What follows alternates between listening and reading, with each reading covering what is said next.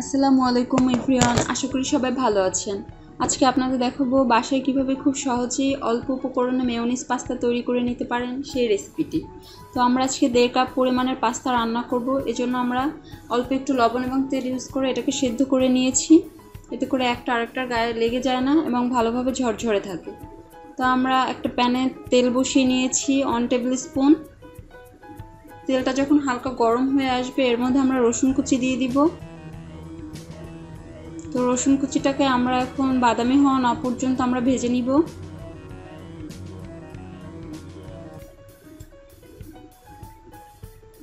এটা বাদামি কালার হয়ে গেলে এর মধ্যে আমরা পেঁয়াজ কুচি দিয়ে দিব এবং এটাকে আমরা হালকা ভেজে নিব।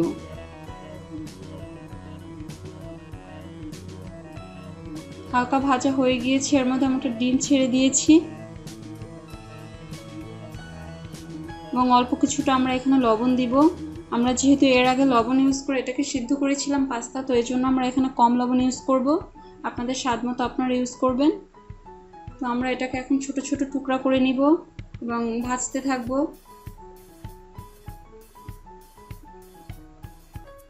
ভাজা হয়ে গেলে এর মধ্যে আমরা কুচি করে রাখা গাজর দিয়ে নিচ্ছি। আপনারা চাইলে এখানে টমেটো বা ক্যাপসিকামও ইউজ করতে পারেন।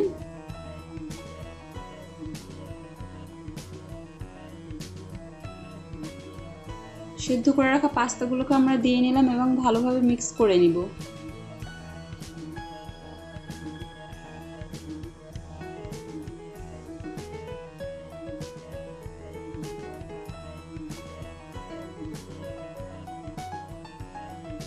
এর মধ্যে আমরা চিলি ফ্লেক্স দিয়ে নিয়েছি। আপনারা আরও স্পাইসি খেতে চাইলে আরও কিছুটা দিতে পারেন।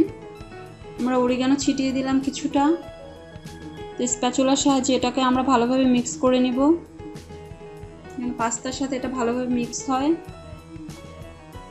এক দুই মিনিট আমরা এভাবে রান্না করব এটাকে। এরপরে আমরা মেয়নিজ দিয়ে দিব। আমরা এখানে তিন টেবিল স্পুন ইউজ করেছি। আপনারা যদি আরও ক্রিমি রাখতে চান এবং খেতে চান, সেক্ষেত্রে আপনারা আরও ইউজ করতে পারেন। এটাকে আমরা আরও ভালোভাবে মিক্স করে নিব এবং চার থেকে পাঁচ মিনিটের মতো আমরা এটাকে চুলায় রাখব মিডিয়াম ফ্লেমে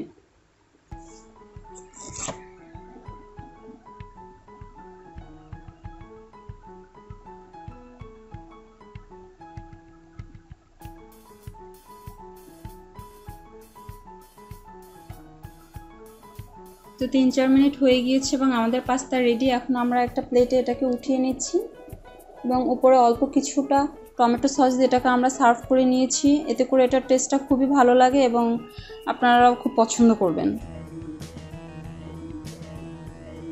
ধন্যবাদ সবাইকে। পরবর্তী ভিডিওর জন্য অবশ্যই আমাদের চ্যানেলটিকে সাবস্ক্রাইব করুন।